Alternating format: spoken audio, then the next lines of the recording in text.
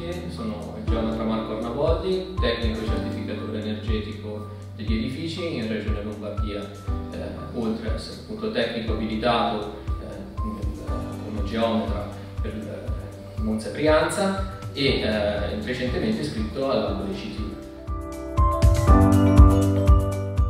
Oggi parliamo della conformità edilizia e catastale eh, per gli atti di compravendita. Capita sovente che le, mh, agli atti di compravendita, gli atti di compravendita vengono rinviati eh, addirittura bloccati per una mancata conformità edilizia e catastale rispetto allo stato di fatto eh, o a quanto autorizzato. Per fare questo è necessario sapere eh, e conoscere lo stato eh, del proprio immobile. La documentazione potrebbe essere già nelle mani del proprietario eh, oppure richiedibile all'archivio, all'archivio comunale eh, dove è sito l'immobile. È bene quindi non farsi trovare eh, impreparati eh, per poter arrivare al, all'atto con tutta la documentazione in ordine.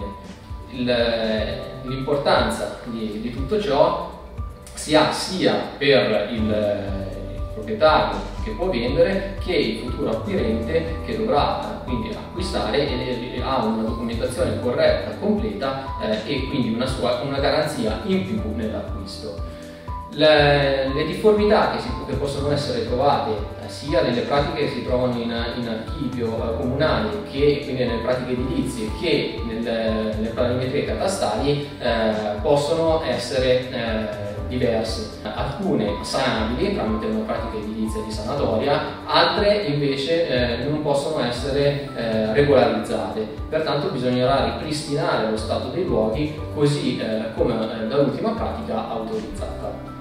Eh, le planimetrie catastali sono aggiornabili in eh, poco tempo, quindi evadibili in qualche giorno, a differenza invece delle pratiche edilizie in sanatoria che richiedono molto più tempo, a volte anche mesi. E cui è per, è per questo proprio il motivo per cui è bene partire con largo anticipo nella preparazione della documentazione e quindi nel, eh, nella correttezza di tutto quello che serve per poter arrivare all'atto di compravendita.